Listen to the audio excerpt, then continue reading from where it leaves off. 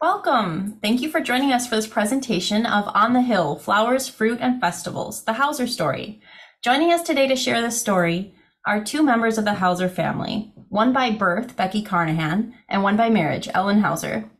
They're just two of the many folks who have brought this presentation together, so I'd like to thank Becky and Ellen, along with other members of the Hauser family, as well as our sponsor, Apostle Islands Historic Preservation Conservancy, Tony Jeanette of T. Joseph Media, and all the other Bayfield Heritage Association volunteers who've worked to make this event happen.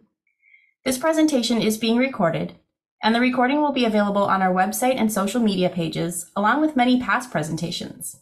If you enjoy this presentation today, I invite you to dig into those archives and to join us for our next presentation in the John Matthew Black Lecture Series on November 13th, when Bob Mackrith shares the fascinating story of an early Madeline Island pioneer and her transformation from proper Eastern lady to bold adventurer. Just a note, during the presentation, your cameras and microphones will be turned off to minimize disruptions. Um, please use the chat function to share your comments and ask questions, which Becky, Ellen, and Fritz Hauser will address during the question and answer session immediately following this talk. And with that, I'll turn it over to Becky and Ellen to start the show. Hi, I'm Ellen Hauser. Uh, my husband is Jim, or no, best known as Fritz Hauser. And I'm Becky Carnahan, formerly known Hauser. I am Fritz's sister. We're here to share with you On the Hill Flowers, Fruits, and Festivals, which we call the Hauser story. In 1937, the Duluth Tribune article shown here depicts several industries of Bayfield. By 1937, the farming industry was going strong. There were 25 to 30 producing farms in the area at that time. Some grew produce that went to the cannery. Some specialized in small fruits that were shipped by rail to the cities. One of those farms was our farm, the Hausers Superior View Farm. As the article states, the home of the largest perennial farm in Minnesota and Wisconsin, more than 300 varieties of perennials grown with between 1 to 3 million plants sold annually. Who were the Hausers? How'd they get here? Why Bayfield? What was their contribution to the area? This is the start of the Hauser story. The Hausers have actually been in Wisconsin for seven generations when the first Hauser immigrated from Switzerland to Campbell, Wisconsin, which is near La Crosse. In Bayfield, five generations of Hausers have lived here. Generation 1, John F. Hauser, came in 1908 and began farming. Generation 2, John Dawson, expanded on perennials, bringing in new varieties, and offering a mail order service. Generation 3, Jim Sr. and his wife Marilyn, expanded their greenhouses to support their perennial business and started a red shed plant sale. They also added Marilyn's homemade jams and jellies. Generation 4, Jim Jr., or known as Fritz, and Ellen, expanded the red shed sale, expanded the store, built several new greenhouses, and built a new building that houses an office, cidery, and a new jam kitchen. And now it's in Generation 5. Dane and Emma take their turn. We'll expand more on all these generations in a later part of the presentation. Hi, this is Becky. I'll talk about John F. Hauser. He is my great grandfather. He was born July 30, 1869. Indeed, it has been said on the day of his birth, July 30, 1869, the sun went into a total eclipse, the planet's graceful tribute upon the arrival of one who was to attain such distinction and win such a warm spot in the affections of fellow citizens. And so, as tens of thousands of chrysanthemums burst into bloom these days, the press pays tribute to the man whom it can truly be said flowers grow where he walks. When he who plants flowers serves his fellow man, he who speaks the language of flowers can converse with any man. Uh, this source, by the way, was from John F. Hauser's tribute and the day of his death. John F. Hauser spent his youth as a market gardener in La Crosse before becoming trial grounds operator for the Salzer Seed Company. He was later promoted to the manager of the flower and vegetable seed department. This is where he met Carl and how the flowers came to Bayfield.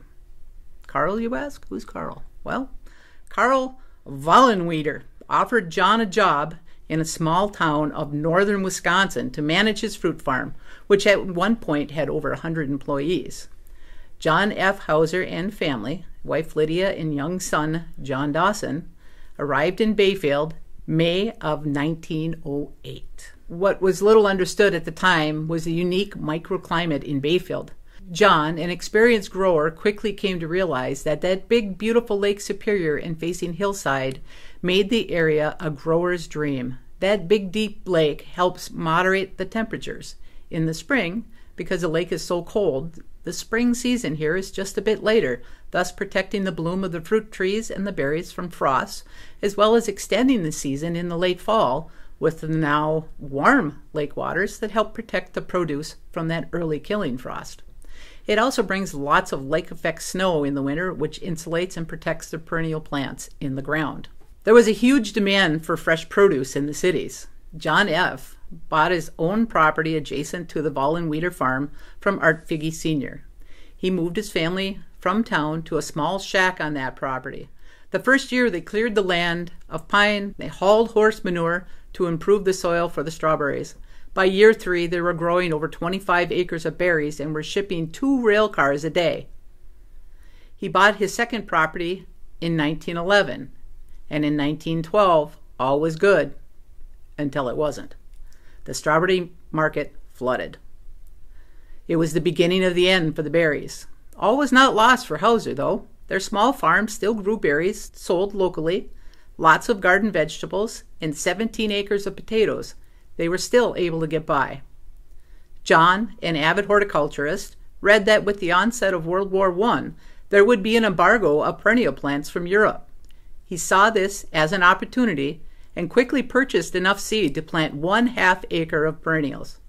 He said that experiment gained him $1,500. That's a lot of money in that time. With that business, with careful tending and planning, eventually became one of the main income sources for the family. John F. Hauser proved to be a talented grower. In the early years, he traveled by train to many of the nearby states, some not so nearby to show his expertise in the potato cultivation. The picture on the left is a reprint of a 1914 Bayfield County article that mentions John F.'s work on small fruit growing. The photo on the right is a picture of a 1915 Nebraska State Fair produce winner. John F. Hauser is pictured on the lower left. In 1929, he was honored by the Wisconsin Horticulture Society as one of the top three farmers in the state described as a pioneer horticulturist in northern Wisconsin who discovered the adaptability of that section for propagation of herbaceous perennials. In other words, that earlier mentioned microclimate was great for perennial plants. In 1944, John F. was honored by the UW Wisconsin Agriculture Department as one of five outstanding farmers in the state his recognition cited his work as a specialist who gave unstinted help in the Victory Garden program of 1943. The citation went on to say he also served as a neighborhood leader in Bayfield for many years. When the 4 H Club started in 1916, he organized the first group in his community. He was also recognized for being especially active in the promotion of seed quality, cow testing association work, and the development of small fruit, i.e., strawberries, and cherries, orchards, and the home gardens. In 1962, he was also awarded the prestigious Golden Apple Award by the Wisconsin and Minnesota Horticulture Societies. John Dawson, known to all as just Dawson. Dawson was just four years old when his family moved from La Crosse, Wisconsin to Bayfield to work for Carl Vollenweider. Dawson followed closely in his father's footsteps. He too would travel with the family to the various state fairs and festivals, showing his own expertise in growing potatoes. The above photos and articles depict young Dawson with his prize winning potatoes. Anyone who had met Dawson would say he loved to tell a good story. Here's a few of these stories told by Dawson. Dawson recalled a neighbor, the man from Chicago, bought land in Bayfield on the hill.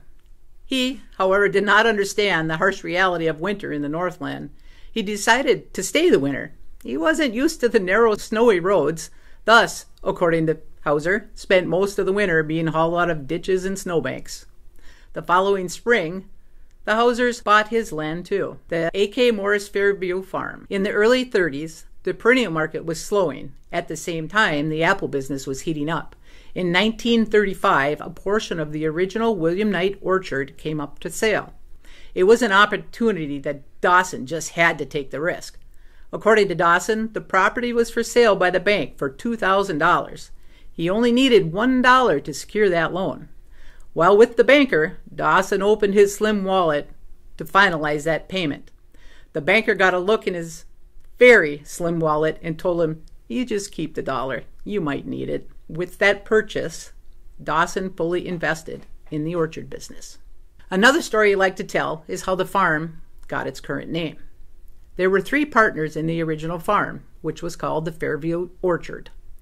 Hauser bought out the other two partners, and Dawson, in his dry, sense of humor fashion, said it was named Superior View Farm because the view was not fair. It was superior. The first and second generations of Hausers were key contributors in early horticulture for the northern climes. Both John Dawson and John F. served on the board of the Wisconsin Horticultural Society. Dawson was also elected by the area farmers to chair the Bayfield chapter and assist the county ASC committee in administering programs such as grain feed bases, agricultural conservation, and cost sharing measures. He also served as the director of the Bayfield Growers Association. Dawson and his wife Opal were also active members of the Rebekahs and Oddfellows Lodge and the Bayfield Chamber of Commerce. They did some traveling to the various state and world fairs and farm conventions. In 1948, this postcard, addressed to Jimmy Hauser, also known as Jim Sr., was written by Mom, Opal Hauser. Dear kids, we are now at St. Louis taking in the convention. We have not seen, and unfortunately I can't read the name yet, Mr. and Mrs. Connell, apple growers from downstate that patented the Connell red apple that are still growing on Hauser Farm today, are here. Tell Grandpa John, F, that Carl Vollenweider and his son Fred are here too. You be good. The photos on the top right are John III and Jimmy, Jim Sr. On the bottom are Jimmy and his sisters. Nancy's on the left, Jimmy in the middle, with Sally on the right. Chrysanthemums, Dawson's claim to fame. Hauser planted acres of mums and loved showing them off. Throughout the summer season, many of the local businesses benefited from the byproduct, the blossoms of the perennial plants. You see, the plants themselves were the marketable product. The blooms were considered waste. So Dawson would cut fresh flowers and several times a week would deliver them to the local businesses downtown for display. Kind of great marketing on his part. People would ask, where did the beautiful flowers come from? And of course, they'd be told Hauser's Superior View Farm. This is 1953 photo taken at the farm, three generations of the Hausers amid the mums. The 55 photo on the left shows Superior View Farm headlines the local news. 15,000 bushels of apples and 200,000 perennials. Whether it be perennial time or apple season, the whole family worked the farm till the mid 60s. John III left the farm to run his own farm. Bill ventured out on his own to become a heavy equipment operator. Jim Sr. stayed with his first love, the farm. Marilyn, Jim's wife, tried to get him to go on long vacations. She said, a week was his max because after about day three, he'd get super antsy and wanted to return home to go check on things. That has not changed. Apples and flowers, both were the mainstay income for the Hauser family. Over the years, the Hausers diversified and changed with the industry. This allowed them to grow and prosper.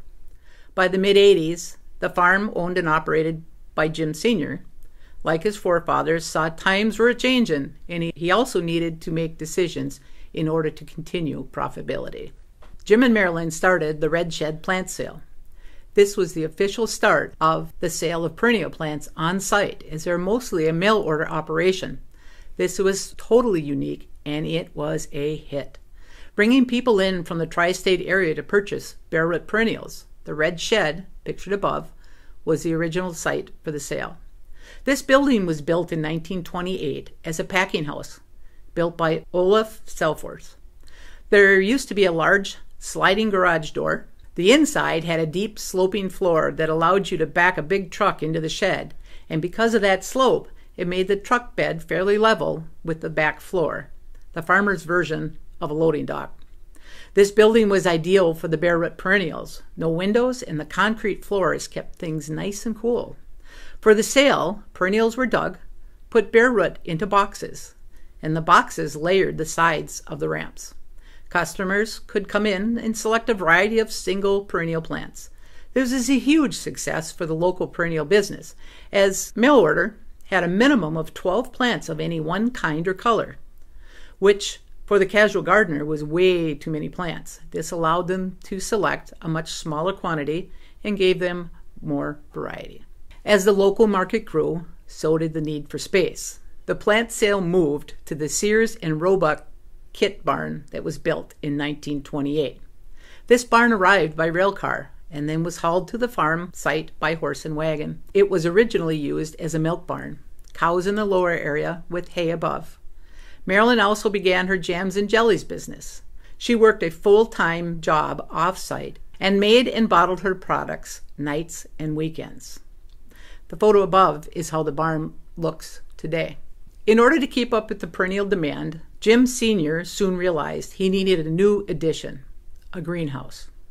The original greenhouse used to be attached to the main house, which during Dawson's time was replaced with a kitchen addition photo on the left shows Jim standing by that original greenhouse. A shed style greenhouse was added to the back of the garage. This worked well for the perennials until they outgrew that greenhouse.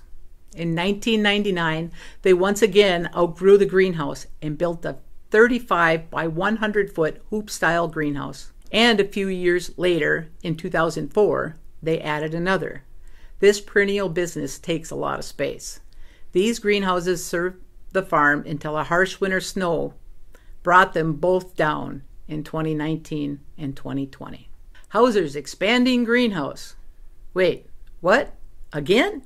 In 2016, with Dane's interest in greenhouse growing and an opportunity like his forefathers just couldn't pass up, the farm purchased two 150 by 30 foot greenhouses from Bill Bailey on Whiting Road. This added a wholesale annual flower operation to the farm. The above is a photo, wives included, in the newest greenhouse additions. Dane, family, and a few friends reassembled the two greenhouses and built connecting planting and soil buildings to house this new business. Which brings us to apple season. Becky talked a lot about perennials, but not enough about apples. Early on, the farm's income was totally dependent upon the perennial plant sales in the spring, and then they did apple sales in the fall. On the slide, you'll see 1956 newspaper clippings. Upper left, Lydia, Joan, and Barb, who are John Hauser's children. Below, Sherry and Lori, who are Jim Sr.'s children. And the top right is a 1988 news article with Dane Hauser on the tractor. Pretty sure he's not driving, but pulling a load of apple baskets full of apples. As you can see, big or small, everyone joins the fun. These photos also show that here's Sherry all grown up now, and Becky, who's with us here today, both still work at the farm today. And then on the right, Corey, who's Jim Sr.'s child, on a 1977 parade float. We all help in apple season. Big or small, there's always a job for you. Family members and a lot of honorary Hausers come and help at apple season. Fresh apple cider. Who doesn't love fresh apple cider this time of year? Jim Sr. used to partner with the neighbor and friends Bob and Perry Shuga at Hillcrest Orchard to make fresh apple cider. Bob owned the cider press, and they both, Bob and Jim Sr., provided apples, and then Jim provided the labor. And it's a good thing Jim had a lot of kids.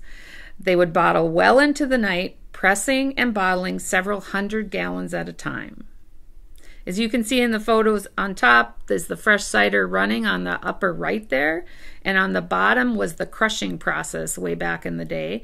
And then if you look to the left, this is a little bit of the new equipment that we have now for our new press. All the apple pressing was done mostly nights, as weekends and weekdays were for picking, grading, and selling apples. Fun times for all involved. And they really do have good memories of this. So now that we've talked about both flowers and fruits, let's talk a little bit about festivals. From early recollections, the Apple Festival has been a long standing fall festival. On the slide, you can see a small excerpt taken from an article written about Superior View Farm. The reporter asked Dawson Hauser what he could recall about the Apple Festival origins. His quick answer? It depends on who you talk to. His long answer? Well, seems to me there's a story here to tell. Quote, he recalled a 1940 Apple Festival parade, the Rebekahs selling apple pie by the slice, and street vendors selling their wares. By 1945, this festival was going well. Unquote. So which is it? 1940? 1945? 1962? The chamber members in 1962 were Chamber of Commerce President Julian Nelson and directors George Mitchell, Dawson Hauser, Mel Sandstrom, Dan Brummer, Jim Erickson, and Chuck Norwell. And they decided to hold it the first weekend in October and advertise an event and call it, quote, Apple Festival, unquote. So maybe the answer is yes to all, and just a bit more, as Dawson put it. Depends on who you ask. The reality is, this is a story with several beginnings. Another early reference that we found is from a book called People and Places A Human History of the Apostle Islands by Jane C. Busch, which was published in 2008. The excerpt shown describes the area's fruit and vegetable production in the 20s and 30s in 1921, it says Bayfield opened the Bayfield Canning Company and that they processed a variety of vegetables and lesser quality apples. Unfortunately, the agricultural boom did not last, but it does state that, quote, in an effort to boost the fruit market, Bayfield held an apple festival in 1926 and instituted an annual strawberry festival in 1931. While the purpose of these festivals was to promote and sell fruit, they also show a growing orientation towards tourism. Local sales and tourism. Bayfield held the first Apple Festival in 1926 and the first Strawberry Festival in 1931. Then, of course, we also found these headlines of the week. Thursday, September 22nd, 1955, Bayfield County Press. Chamber of Commerce sponsors Apple Festival. Youngsters will need knee pads and overalls. Another, apple growers throw weight behind Bayfield Apple Festival scheduled for next weekend. Read the headlines. Quote, the Bayfield Chamber of Commerce voted last Thursday evening to sponsor an apple festival for the first weekend in October, with an emphasis on such features as a farmer's market, a parade by apple growers with their trucks, trailers, sprayers, etc., plus games and contests with cash prizes for the winners. Unquote. They also said, quote, the event will be worked out in connection with the Parent Teachers Association's annual Fall Festival, scheduled for Saturday, October 1st, with the Apple Festival activities taking place on Sunday. Prize money has been contributed for the winners of the Apple Baking Contest. The pies go to the PTA to be sold. Contest will be arranged, including such projects as pushing an apple for a block along the pavement, using the nose as your pusher, it will be advantageous to have knee pads and overalls for use in that contest. Unquote. It also talked about Dawson Hauser and Walter Barningham planning events of special interest to orchardists. Climax of the celebration, a parade at 2:30 p.m. Sunday, led by the Bayfield High School band. Some things don't change. So this picture, I think, shows it the way it really is for all of us who live here in Bayfield and up on the orchard and up on the hills. It's another story of change and adaptation. The festivals, just like the farms. Much like the Hauser farm, the city and area farmers needed to change with the times, get creative in their marketing. In the early 1900s, the farmers needed to sell their produce, and a parade was a perfect way to advertise it. In 1921, a national depressed fruit and vegetable market required the city founders to think outside the box and start to promote tourism and bring paying customers to town. This 1968 Hauser Superior View Farm float sums it up perfectly. We like it here, and we want to stay. Here you can see a 2005 depiction of what we call the Bayfield Fruit Loop. Although I will say that there are some people don't really like that terminology about the Fruit Loop, but it was really based upon the fact that you can drive along the roads and kind of go in a circle and wind around, and that's where it came to be known as the Bayfield Fruit Loop. As mentioned earlier, the area was perfect for growing fruits and vegetables. Dawson recalled at the beginning, if you remember, 25 to 30 farms in those earlier days. And we show this picture to show that the number has steadily declined since that time. Some have closed, others have opened, and today there are two that have continued with continuous family ownership the Hausers and the Ericksons. One thing almost everyone had in common was small fruits, which might include strawberries or cherries or blueberries, and apples. This brings us to the last segment of this presentation. This story has been about change and adaptation from 1908 to the present. So, what will the future bring for Hausers? One thing is a new cidery. It's called Apple House Cidery or Apfel House Cidery, depending on how you want to pronounce it. Apfel is the German word for apple, and Haus, H A U S, is the German word for house. So, Apple House Cidery was born. Since the farm pressed its own fresh cider each fall, Dane and his sister Becca thought that a natural evolution would be to ferment the farm's own hard cider. It was important to them that this product be completely farm grown and produced. It's grown, picked, pressed, fermented, and packaged right on the farm. The theme of Apple House Cidery is from blossom to bottle, made right, right here. Expansion of this hard cider business is currently being assisted by a USDA Rural Development Value Added Producers Grant. In addition, Dane is working in partnership with the University of Wisconsin Extension to research and breed hazelnuts that will grow successfully in the upper Midwest. Not sure if you know it, but right now the majority of the world's hazelnuts, think Nutella, are growing in the country of Turkey. So, the Upper Midwest Hazelnut Initiative is hopefully going to help make the Midwest a premier grower of hazelnuts as well. The one thing we believe at Hausers is honoring the past. If you take a look at these photos, in the upper left is kind of an undated photo of John F. Hauser. And then if you go down to the next black and white one right to the right there, there's a four generation photo that was taken in 1965. In the very back, the tallest one in the back there is Jim Sr. And then right next to him on, it would be his right, your left, would be Jim Jr. or Fritz. Seated is John F. Hauser. And to his left is Willie Hauser, who's the son of Bill Hauser. And to his right is Scott Hauser, the son of Jim Sr. Up on the top there, you'll see the Jims. There's Jim Sr. and Jim Jr. Jim Sr. and Jim Jr. both working at the farm today. And then to the right, Becca and Dane Hauser, both the founders of Apple House Cidery. And then on the bottom, uh, the current three generations working daily at the farm Dane, Jim Sr., and Fritz. So, yes, we honor the past, but we also look to the future. Here's some photos on the upper left. That's the building that's replacing the old red shed the bottom is an operations and cidery and pressing area, and the top is going to hopefully be a tap room someday soon in the future. If you look right below that, we've implemented solar power on top of our greenhouse buildings. And then to the right, this is what the newer apple press looks like. There's an elevator that takes the apples up, goes into the press, and uh, pneumatically presses the apples into juice. One never knows what will come next. Becky, I'll let you finish it off. Oh, well, that's easy. The end. Well, thank you so much. Um, I I'd like to welcome anyone who wants to jump in with any comments or questions that you may have for Becky, Ellen, and Fritz during the uh, Q and A session now.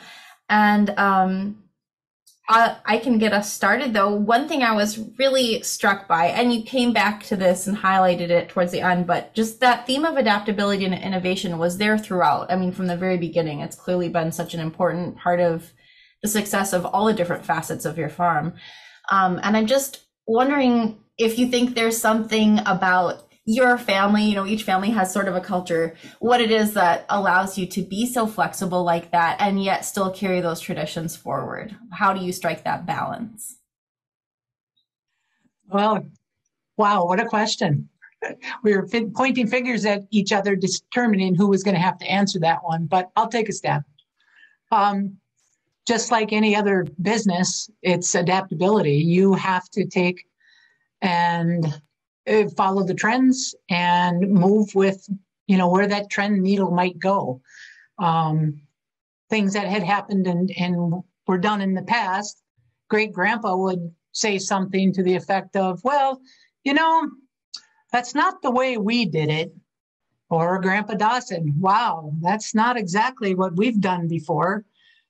But as you adapt, you have to change. You have to make those decisions to fit the model with what is going on today, not what has happened in the past. And then start basing those decisions maybe on what might be happening in the future. Were there any um, and you might have touched on this a little bit, but were there any any new innovations or new ideas that you tried out and then had to back up and say, okay, that one's not going to fly? Um, not not too many, I don't think. There there might have been a few minor ones, but nothing nothing major. It might have been a, a process that we changed or plants that sometimes we might have tried that didn't work out very well, but nothing. I don't think there's anything that was catastrophic, put it that way. But Oh, it wouldn't seem so based on how well everything seems to be going up there. When you were talking about the change from Fairview to Superior View, which is adorable, um, I noticed it also said Sand River Road. Is that what County Highway J used to be called at one point? Yes, that was, that's what that was called. Correct. What is there a Sand River around? Uh, yeah, Sand River is about um, probably 10 miles north of Bayfield on Highway 13. Oh, okay.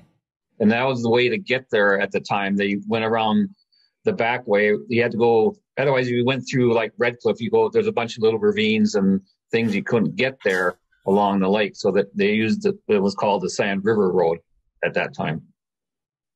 Okay. That's interesting. Thank you so Rick shared a comment, and I'll just read it in case anyone isn't seeing the chat. Um, nice presentation. According to my father, my grandfather in Millen on Alaska, Wisconsin, had an agreement with the brothers who co-owned his farm to pay them their fair share. So Grandpa kept the farm, and then John F. used the money to buy the start of the farm in Bayfield. Not sure how the other brothers used the money. Interesting. Yeah, that would that would date back to um, at the beginning of the timeline where we said they've been in Wisconsin for seven generations. So that's what um, he is referencing is that um, uh, those first two generations before um, John F. moved to Bayfield. So thank you. Great. Any any favorite memories you want to share from your experiences there at Superior View Farm? The best memories for us as a family always um, heads to the sales, right? The plant sale in the spring, and quite frankly, the Apple Fest in the fall. That's a huge family event, and it is to this day. You know, I, my early memories as a young child, um, riding on the uh, apple wagon. So Dad would go down and and pick up the bushels of apples. You saw that little picture of Dane with that with the wagon behind kind of the same tractor and probably the same wagon that was used when we were kids. The whole family worked the, the festival. And so mom and dad had a lot of kids. There was eight of us running around at one time or another. Uh, the younger kids had to be somewhere, so they parked us up on those wagons.